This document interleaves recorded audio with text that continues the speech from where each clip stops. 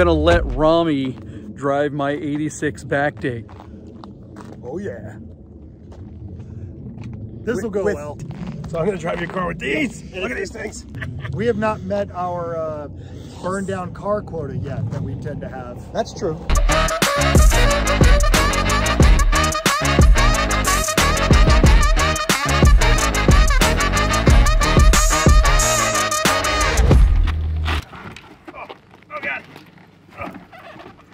Sitting in here? I'm a little shorter than you. Okay, there we go. So Romi, just so you know, the car is actually in my name and insured. I don't care. He does. He he doesn't care at all. It's so 911. Look.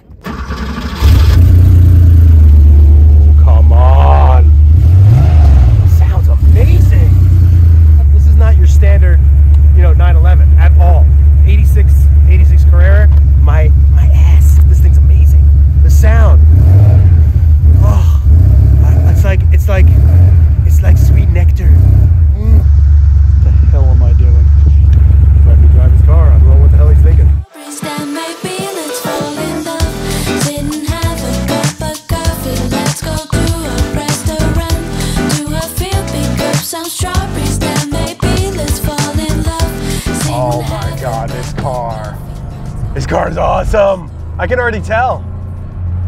So, this is JP's outlaw backdate, and he's letting me drive it with my boots and everything. it's really great. Oh my God, the suspension is just unbelievable. Wow, wow. Holy cow. I can't get over it. I really can't. This car originally rolled off the production line in Stuttgart back in 1986 as a standard Porsche 911 Carrera G body, equipped with a 3.2 liter flat six engine and 915 five speed transmission. However, a few years ago, it underwent a remarkable transformation into a backdated 911, commonly referred to as a long hood model. This design was inspired by the 1973 911 RS, but it is not an exact clone. Rather, it boasts a more outlaw appearance, making it stand out from the crowd. One of the major benefits of this backdated 911 is the shedding of weight that comes with it. The car has been stripped down to its essentials with lighter bumpers, a lighter hood and deck lid, RS door cards, and one-piece race seats, among other features. Additionally, the exhaust has been lightened, and the wheels have been replaced with forged lightweight ones.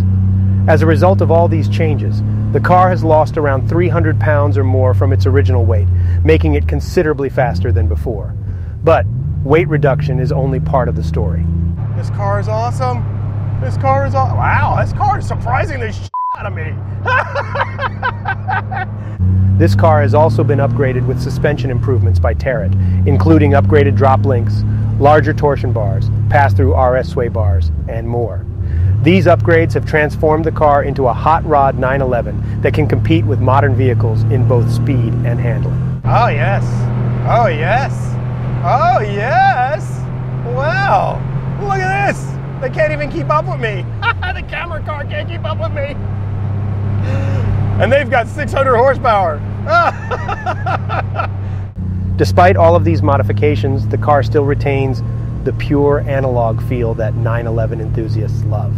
This is something that cannot be replicated by modern vehicles and is a testament to the car's enduring appeal. I wish you could feel it. You know, I know it's it's on it's on video, but I wish you could feel this. This thing is just watch this. Right the downshift into the turn. oh, what a car! Wow! While some might compare it to a Singer backdated 911, the truth is that this car is in a league of its own. It provides all the raw, visceral driving experiences of a million dollar hot rod, but at a much more affordable price point. Overall, this is a car that truly delivers on its promise of pure driving pleasure. Oh, oh, oh this car! Wow! This car is spectacular! so, I have four air-cooled Porsches. I have a Carrera RS 1995. I have a Ruf GT2 twin turbo 1996. I have a 1986 930 turbo that's 800 horsepower, and I have a original 1979 Iceman Green 930 turbo, all original. So I have a little experience driving these cars, and I have to say, I think I'm going to buy a backdate now, because what the backdate does is it takes all the things that annoy you about a 911. There aren't many, but some of the things that annoy you about 911s, and it just it gets rid of them. All right, so I took this same road with my SVJ, and I, granted I was going faster, but whatever. Oh my God, this thing turns like, oh. And he's also got new wheels and tires on it that just make it so spectacular. They're gold, they're beautiful, but what it does is it let the grip is unbelievable. Ooh. Oh, this car is fantastic. I'm, I'm going down this road as fast as I went down, almost, I would say, 20 miles an hour slower than my SVJ. That's crazy. That's crazy.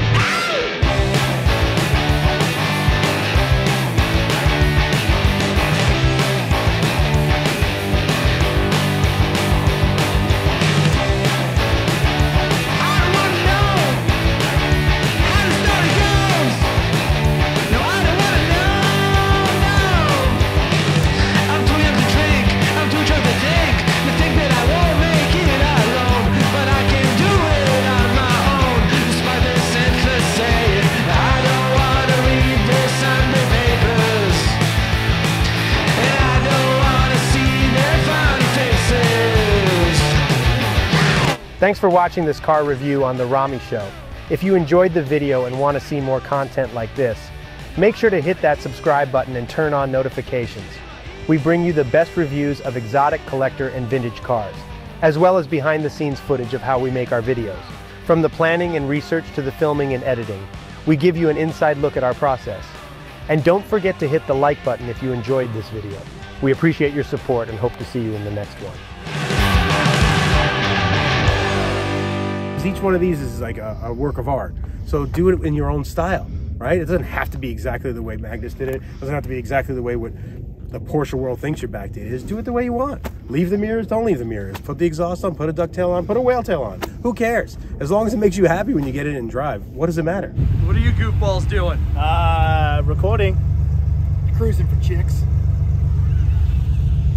It's not working out very well. Ah! All right, I gotta get out of this car. I'm sweating my ass off and I got my leather pants on. So it's super hot. I gotta get out. Oh my God.